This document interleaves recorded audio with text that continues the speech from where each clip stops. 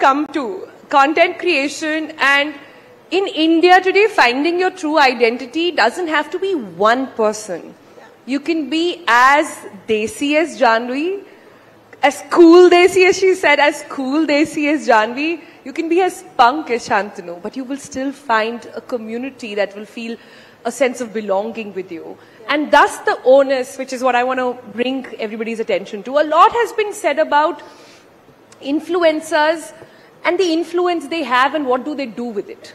एक बहुत infamous dialogue है बोला गया था किसी प्लेटफॉर्म पे कि इन्फ्लुएंसर्स तो बिकाऊ हैं कोई भी ब्रांड जाके उनको कितने भी पैसे दे सकता है and they will say whatever right so has that changed in the industry shantanu why don't you pick that question has that is there a conscious thought now on what idea what brands what kind of thinking are you really going to put out Through yourself and through your brand See, the thing is, uh, what has happened over time is the influencer market is sort of saturated.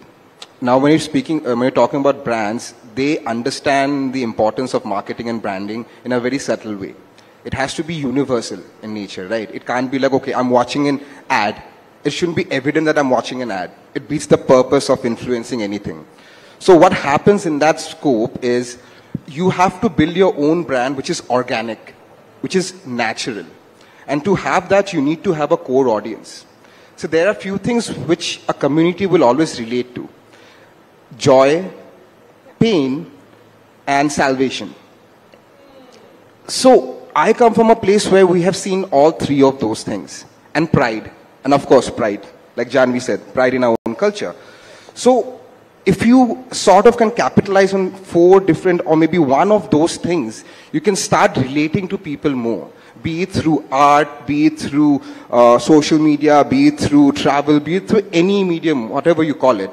So the moment you start building that particular sense of collectiveness among a group of people, be it a small group of people who listen to same kind of music, maybe have been through same kind of experiences, so you start building a niche. And that niche will give you that originality. And that's what the brands look for. They want to be more niche in their approach and they want to also encompass that uh, organic nature of influencing people. So the days of putting an advert out or hiring an influencer just because they have million followers is gone. Now what they look for is the authenticity. Numbers don't matter anymore. It's how organic your reach is. Is that true? Numbers don't matter? No, most I of mean, them are bots. I, I, would say authenticity definitely matters more than numbers because it's like it's a story on your page, you know, as uh, as the panel says, we are storytellers and the story of our lives is on our page. So uh, brands really, really look for that. They don't look for somebody who's doing one mobile phone ad one day and then uh, another the next day for sure. But, I, I think, but think, tell me this. Yeah. When do you, since you are the brand, you are the influencer. When do you stop being the influencer? When do you start being that person?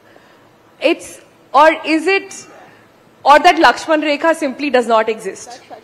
I, I, I, think the onus of drawing that line is actually on the influencer because we know people who uh, do this like first thing in the morning and even on Saturdays, Sundays.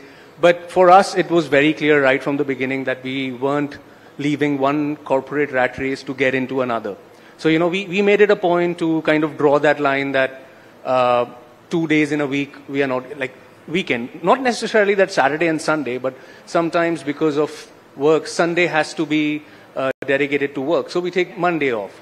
You know, so I think, I think it's really uh, up to the content creator or the influencer to draw that line and there's no like clear definition of where it starts and where it stops. But yes, at the end of the day, it does kind of permeate into um, you know a lot of the things that you do and a lot of times throughout the week. Well, I think as Shantanu said, if, if you're being authentic with your audience, it feels so effortless. Sometimes you're working, but it doesn't even feel like work because you're actually putting a very authentic part of yourselves out into the world. So the boundaries are also very blurry sometimes. You have to be up for it because if I am going on holiday, I don't want my phone around me. I don't know how you guys do it. But moving on, we're coming to the close, uh, closing of this session. I want a quick, quick sort of last comments on where is this going? We also see a lot of like you said, we have saturated the content across platforms, more and more platforms, more and more content, more and more influencers, so to say. There are also a lot of one-time hits and one-time wonders.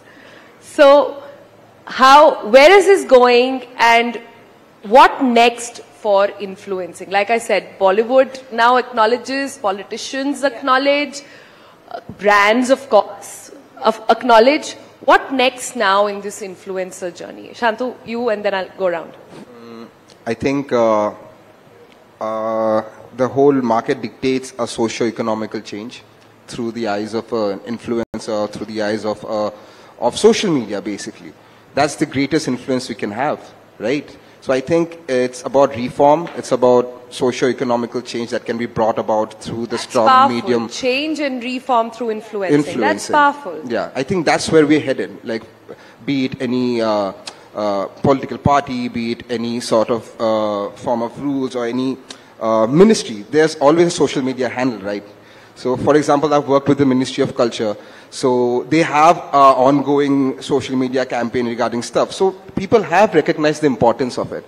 And I think it's slowly seeping into the whole uh, reform movement. And it is an independent industry which is going to grow as we are growing as artists and influencers, and we have to deal with it. Janvi. Uh, I think it is just the beginning what you're looking at right now and uh, because अलग अलग content creators सामने आ रहे हैं अलग अलग content सामने आ रहा है which is taking the country forward for sure but I also think over the time uh, it will uh, be like अगर आप अपनी audience के साथ अपने content के साथ valuable है so it will be a, you know a long game for sure Value add. yeah is your value take. addition is the key and value will create virality in the long run also so that consistency and authenticity as we discussing the previous question also कि uh, मेरे लिए वो लक्ष्मण रेखा नहीं है I am the same person on social media and and offline also so I'm the same and फिर अगर आप इतने authentic होते हैं ना तो it it it, it is actually very effortless to put out content in a long run also so काम, that काम नहीं लगता है as they used to say right? yeah काम तो लगता है I mean, uh, building on that, uh, you can put up a facade for a day or two, a month max. But when you are putting out content जैसे जान भी कह रही है कि रोज अगर डालना है हाँ. तो वो फसाद रहेगा नहीं ज़्यादा टाइम तक you know your authentic self will come out closing I I just think that the idea of this idea of celebrity that all of us grew up with, you know, movie stars, etc., is dissipating now. There are, uh, it's, it's a very fluid concept. So all of us decide what niche we want to cater to, what our community is. So overnight virality is also not a bad thing because that might help somebody uh, like this tea seller that we were talking about before the panel. It might democratize and bring so much empowerment to a community. And I think that's what's important to remember that all of us are thriving in our little niches and doing the best we can for our little communities that's out nice there. that's Yeah, nice exactly. with it yeah the lady said it all I I would just say that I love uh, the fact that it has uh, uh, become democratized now. Like, you know, till a few years ago, there was this perception that, oh, not everybody can uh, become an influencer or this or that. It wasn't even considered a profession, right? Now, the beauty is that uh, if you have the talent, if you have the dedication, if you have the skill, uh, anybody can do that. And that's, the, that's an amazing thing in a country like India where so much can be done to highlight different corners, different facets, landscapes, culture, food. So, you know, that, that I think is just the beginning. And uh, it's going to evolve and grow into uh, an amazing industry and a platform. And I, think it's gonna be like, uh, matlab it depends on creator to creator. Someone wants to be a celebrity, someone wants to get into a movie or maybe an OTT. there is space for all Yeah, there's a space Yeah. for all, and I think I, we should look forward to be a change maker for the country now, to represent that content that can bring and evolve your country and take it forward.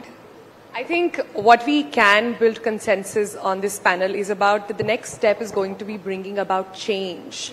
The influence is going to get into the change that you bring.